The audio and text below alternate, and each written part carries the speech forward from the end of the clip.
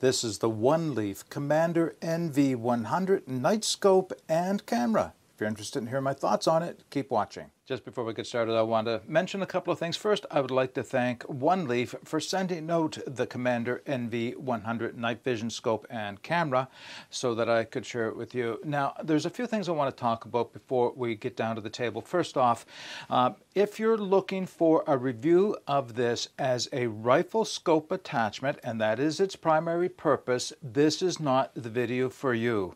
My video will be focusing in on this product as a night night vision camera. And this is what I had put to the company when they first offered it to me. I don't hunt anymore. I don't have any rifles with scopes on that I could test this out with. So I wanted to see how this would work as a night vision spotting scope and camera for doing, well, recording at night, obviously. Now, I've had it in my hands a long time, much longer than I should have, and I want to get this video out so that I can share my thoughts with you.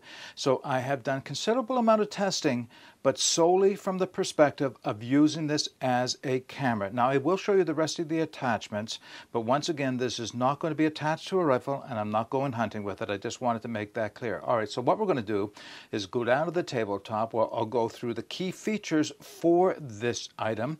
I'll go through its performance and physical technical specifications, of course. I'll go through its modes of operation, but only in short. And the reason being is I want to get on to talking about my experiences using it as a camera.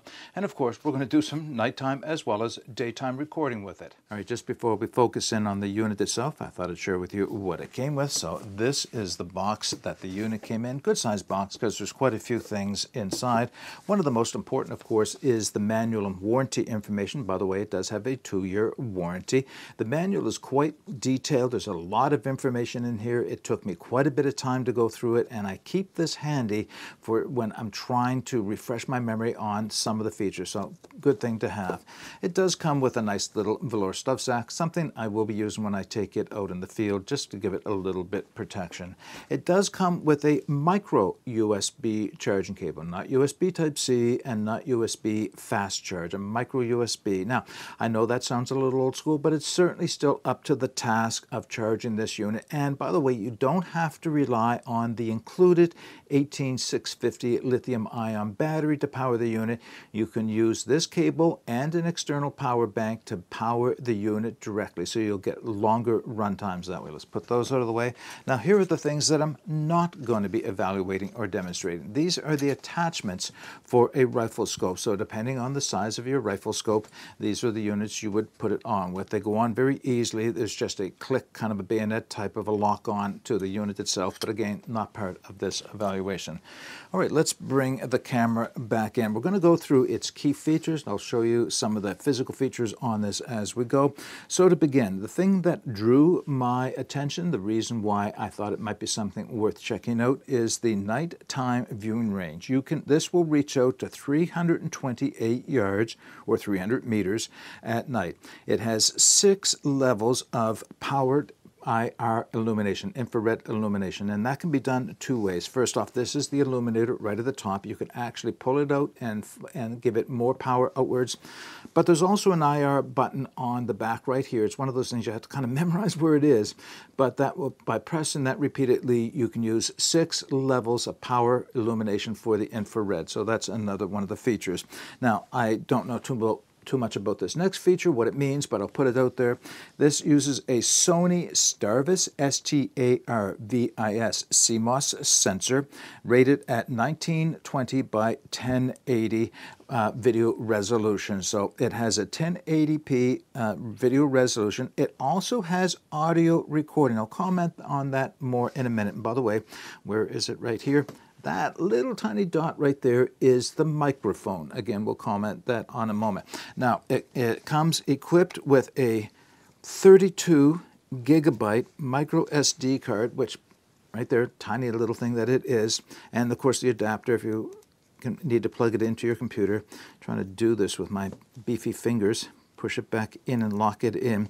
But it will accept up to a 256 gigabyte micro SD card for longer runtimes. 32 is not bad, but 64 or more would be even better, of course. So if you want to buy extra cards for it, you know, that's probably something to consider. While I have this port cover open, you can see where the micro USB input power port is and the earphone jack right here if you want to be able to hear the recordings uh, for uh, during playback from the, the video camera because of course you can do that as you view the recording through the, um, the, the viewing port as well on it. Okay put that, close that up. So as I mentioned, it does have daytime color mode and it is at 1080p and it has nighttime mode as well. And those are the two features that we're going to be testing. It has a long eye relief up to 70 millimeters.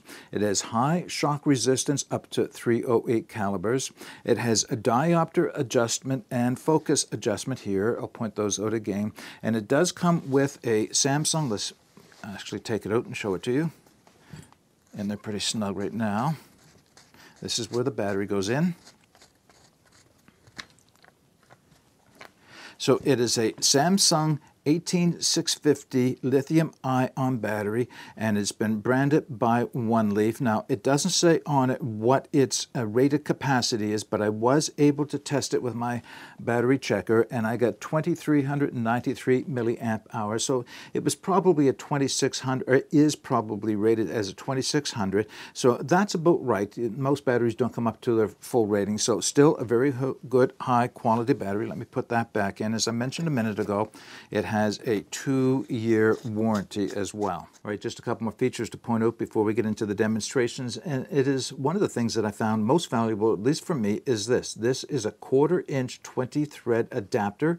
So this camera can be mounted on a tripod like any other camera. Not something you'd make use of very often, especially if you're going to be using it with a rifle, but in my situation, using this as a camera, that was almost vital to have. So it was good that that was included. I did point out that the, uh, the forward focus or the objective lens focus is right here and you can just freely rotate that it works very well as you hold on to it very much like any monocular half a binocular kind of an idea and the diopter so you can focus it into your eyes uh, needs right here as well.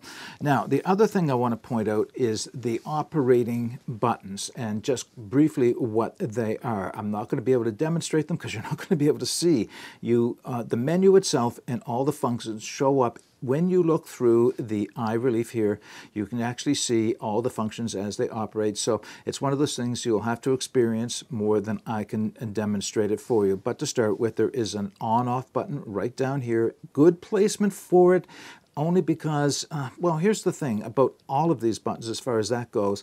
They're a little hard to find intuitively at night because, of course, you don't have any light if you're using this at night unless you have a headlamp, and that kind of defeats the purpose because you're supposed to be in the dark. So you have to memorize where the buttons are. The on-off button is not too bad. You can find that fairly easily once you get used to it. But I found for the first little while I was lifting my head and looking at the buttons to make sure I found the one that I actually wanted to use. And over here on this side is the infrared button. So this allows you to press through a series of power levels on the infrared to get just the right one for your situation. You have a focus button and an expanded screen button up here. You I keep looking because I'm looking at it upside down. So you have the playback button right here as well as the menu and in the center you have a uh, an OK button for allows you to run through each of the menu items and it's also a button that allows you to take still pictures. So not only is it a video camera, but it is also a still camera as well. Now, once again, I'll just point this out. These were a little bit awkward in the beginning. I got used to them, but it's just one of the things I wish I didn't have to spend as much time as I did getting to used to the placement of the buttons. No sense in me trying to demonstrate them to you because quite honestly, that's what you need that manual for. You'll be using it again and again until you get really intuitively used to how this operates. All right, as far as demonstrations go, there's really only going to be two. First off, it'll be a daytime color video recording to show you what that looks like, and the second will be a nighttime recording using infrared. We're just going to keep it that simple because, of course, I won't be attaching it to a scope and taking it out into the field to see what I can spot as far as game is concerned. All right, let's get started with that. All right, we're doing a daytime demonstration of the NV100. I have the camera focused on a bench about 60 feet away from me. I'm standing behind the camera recording my voice now because as I walk away from the camera you won't hear me.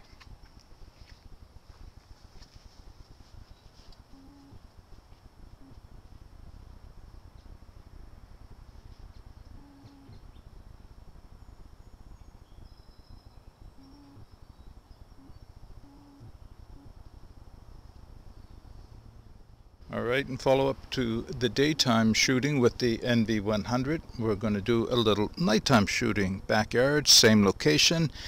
Now I'm going to have to walk away from the camera, so my voice isn't going to be recorded, but we'll see how well the camera works with the infrared.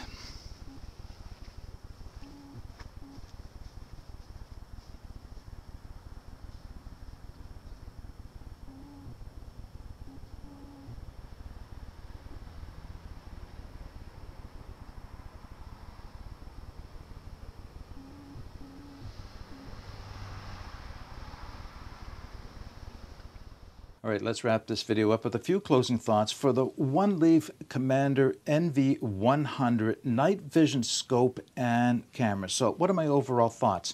Well, I have to go back to the opening of this video and just declare once again that my viewpoint, the, what I was looking for in this camera was how it worked as a camera, not as a scope, not as an attachment for a rifle scope. I just want to be clear so no one is misled to think that I am evaluating it from that perspective. Now, as a camera. I tested it for daytime recordings and nighttime recordings. Now, as far as the daytime recordings, it is at least equal to any other camera of a similar resolution that I used. I quite like it. But it's not the daytime recordings that I was most interested in. It was the nighttime recordings. So the nighttime recordings using the infrared, do very good job as far as I can tell. Now the thing is, this is the only nighttime camera I have ever used or tried, so I really have no way of comparing it against any others. Uh, it certainly appears to be very clear. It certainly appears to uh, do the job that I would want from it. Certainly, I, I, enjoy using it for that purpose. I just can't say it's better than anything else for that. So, once again, as a nighttime video camera, it works as far as I'm concerned, but you know, that's something you'll have to evaluate for yourself based on the demonstrations I gave you. Now, as far as disappointments or anything that I think I would like to see changed about it, one is the fact that the input microphone faces me as a recorder when I have it up to my eye. Now, that's the way it's intended to be. It's not meant to be used with something that will catch voice or sounds out at a distance, which is a bit unfortunate. It would be great if they could put a microphone input on this unit so that I could attach one of my wireless microphones, and then I think I would be much more versatile as a camera. It still fits this, the vision or the, the intended mission for it as a rifle scope, but if I want to use it as a nighttime video camera, I really need to have something where I can record audio on the device without having to record it on a separate device and then device and then trying to match them up. So that would be a great improvement. Now the other thing is, and again, not a deal breaker, just to be aware, aware of, are the operating buttons on the camera. Now they're right in front of you as far as when you're holding it up here. So if you take the time to develop some muscle memory for where the on-off button is, where the infrared button is, where the zoom is, and each of those features, then they'll work for you but they're not intuitive. It wasn't easy. I kept having to look at it and start playing with it and trying to memorize where those are. It would be much nicer if I could pick it up and without any thought just press the buttons with ease. And you know, this is using it without gloves on. And so I just point that out as well. So if it's a wintertime uh, scenario, it's going to be even harder to operate those buttons. How they go about improving that, that's up to their engineers. I'm thinking one way they could make it a little easier is just illuminating the buttons from behind. But again, that's, that's, that's not something that I can comment on uh, with any accuracy, we'll say. Okay, That's everything I have for you. And I, again, I'll open it up to you. If you want to comment on this unit or this video as far as this being used as a camera, then please do so. Don't say that you didn't show it as a rifle scope uh, camera because, again, I didn't evaluate it that way. All right, I'll put the links to where you can take another look at this in the video description. But until next time, get out and explore and take that path less traveled because it will make all the difference. Bye for now.